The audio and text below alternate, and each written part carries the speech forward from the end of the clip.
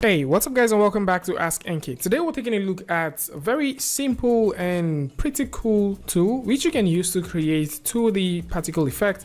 And for those who are excited about making sprites and maybe you want to use this for your 2D animations or for your 2D games, then this is also something that you should take a look at.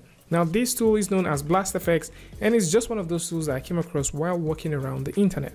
So for those who like to grab this, there is a demo version that you can get and of course you can choose to get this on Steam as it's available for both Windows, Mac and also Linux. So with that said, we're going to dive directly into the tool and take a look at how it works and a couple of things that you guys need to know.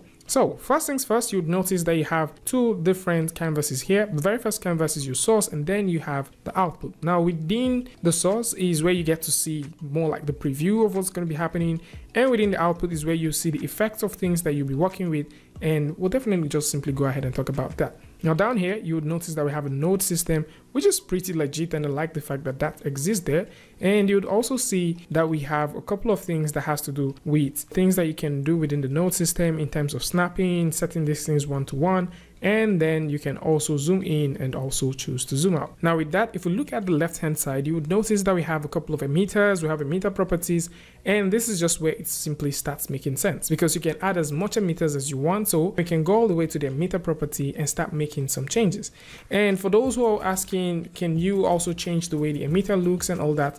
Yes, you can. So if we go over to the general section, this is where we get to play with the general setting. And within the shape section is where you can change the emitter shape. So right now, the very first emitter and the second one which you have is set to point, and we can choose to set these things to box. So by simply setting this to box, you can see what we have. You notice that we have these emitting from every possible part. You can play with the height depending on what you want. You can also play with the width just to get things in perspective. Moving forward, there is a circular section which has to do with how the emitter type or the emitter shape is going to look like and you can also go through and start having fun with it. Within the texture section is where you get to load the particle texture so by simply clicking on this button you can load a given particle texture and you can start seeing what we have. If we select that and set something like this you can also see what we have going on there and we can add as much things as we want. Now I'm just simply going to go ahead and reset this back to what it looks like previously. And if you're thinking about playing with animation speed, or maybe you're thinking about how you can play with controlling this particular thing, you can do all of these things within the velocity. So going down to the velocity, if we set this to 10 and press the enter key, let's actually go ahead and delete the second one so that we can see. So I'm just going to click on remove and click this and position this one right here so that you guys can see what we're doing. So if we go over here to where we have the velocity, we can drop this velocity to, let's say 5, and you can see the speed at which this is working and it looks totally low. Now we can also go in and increase this velocity by adding a couple of zeros behind this 5 and if we make that 500 and press the enter key, you'd notice that the velocity becomes even way more. So if you want to play with these things by simply using graph, of course you can also do that. You can also play with the initial velocity, which might be about 10. So it starts slowly and then it progresses and get even cooler. So this is for those who are thinking about making effects, particle effects and stuff like that. You will definitely find this one super easy. Now going all the way down, you can have fun playing all the velocity parameters that you want to do. And I guess the place where a lot of people will find fun is within the color. So within the color section, there is actually a ramp that you can use to do some stuff. So I can simply click on this particular one, double click and then select the color. And you can now see that we're having fun doing some stuff. And I can actually go all the way and let's double click right here make this a little bit darker and you can see what we're having and I might simply just click this move this all the way to the side double click to create a brand new one and then I can change the color to probably something like that so once I do this, you notice everything is jumping, go over to velocity, set this back to 200 like we had before, go over to the shape and set this back to a point, and now you can start seeing that we have you know something that looks a little bit controllable that exists within the scene. So by doing this, you can now control how you want the color of your particle to be like. With that, if you go down to the size, you can, you know, have fun playing with the size depending on what you want to create. So if you like to play with the angle, you can also choose to do that right here. And with that, if you go over to the flow map, you can also choose to play with the flow map. We can turn that on, select the texture that we want, and I can simply assign a given texture. And let's increase the strength and you can see that now the particle starts following that flow map that we have. So we can add and change the texture type or change how we want the flow to look like. And you can also proceed to play with the motion type and also get some cool stuff happening for you. So let's talk a bit about the motion.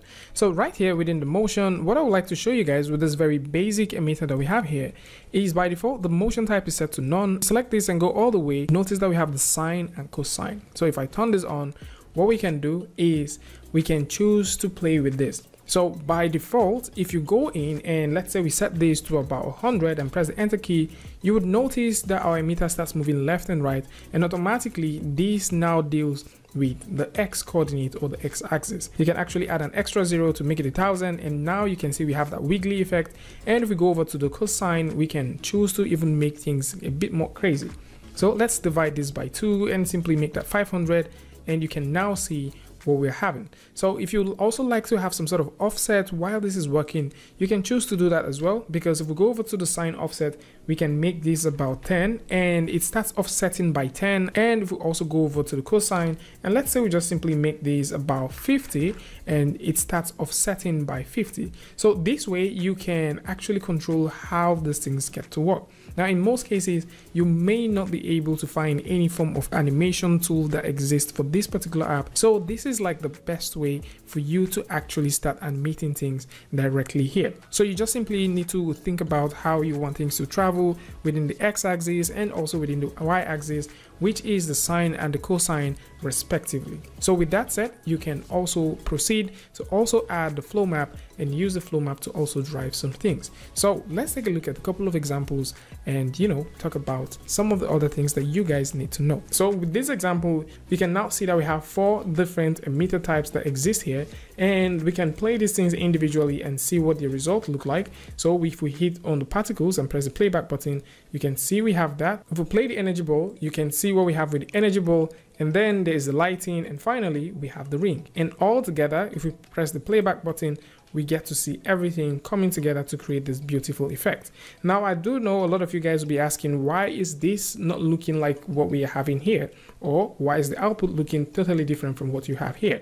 And that is pretty simple. It is because right over here, we have a couple of nodes that control how things work. So let's get a brand new scene so that I can explain some more. So with the brand new scene here, I'm just simply going to go ahead and add a brand new emitter. And with that, if we right click, we can go to the section where we have effect and we can choose to add a pixelating effect. So if we click, drag and click right here, drag, you would notice that we have some sort of pixelation happening. Now that might not really make sense until we start cranking this all the way up. So I'm just gonna go through and make this six by six. All right, so let's go ahead and set this to 6 press the playback button and you can start seeing that and if we go in and set this to 3 and go right here and set this to 3 as well you can start seeing that. So depending on what you would like to do you can use the effects within the node section and drive whatever final output that you're looking for. So you can also right click and even add some more cool stuff. Let's say for example you want to add some chromatic aberration. Yep you can. So we can add that and go all the way and add something like this. And right now you don't necessarily see anything happening. But then if we go in and start increasing the strength you can now start getting that pretty cool chromatic aberration so there's a couple of cool presets that exist right here that you can use to do a lot of cool things. And to actually learn more about these things if you go over to the sample files that exist these things would get you up to speed really really quick. You can actually get started working with this super easy. So for those who like to grab this you can go through and get the free version. And currently the one which i'm using to actually demo this to you guys is the free demo version which you can get right here. And i'm going to put a link in the description where you can go through and grab these ones and start working with it. And for those who like to purchase this you can simply go over to steam where you will be able to grab this and actually you know get started with this one as well. So this is more like it and you can take a look at some of the examples that exist right here and see how best this actually works. And for those who are into 2d games and maybe you're into 2d visual effects you might definitely want to give the BlastFX a go. And of course we've already talked about some cool tools which you can use to make some very cool effects. So sometime last week we did talk about how you can make cool effects with the effect texture maker. And I'm also going to put a link in the description so just in case you want to take a look at that and see how that works that is a pretty cool one. We also did talk about the pixel art which is also a free tool that you can grab and actually start making some very nice pixel particle system for your games. And you can also proceed to export these things out as both sprites and also a couple of animations. And yeah, for those that are excited about this one, there's going to be a link in the description that can help you get started. Meanwhile, for those who will be wondering, how do you render this thing out? Right over here, there is a render button and if you go through, you can choose to render this depending on what you want. So if I simply go through and select the frame size that I want, and by the way, you can crank this to about 1K and once you hit the render button, you can render this as a sprite sheet, an individual set of images, or you can simply render a given frame. And that's more like it. I'd like to know what you guys think about this one in the comment section. And of course, if you like this video or you learned something from this, you can go ahead and give it a like and don't forget to share with a friend. And if you're new here, it's going to be amazing for you to hit the subscribe button and also turn on notifications so that you don't miss next video or the next update. And until I see you guys again with the tutorial update, Free Friday, Tutorial Tuesday, tips and tricks, things like this. Peace.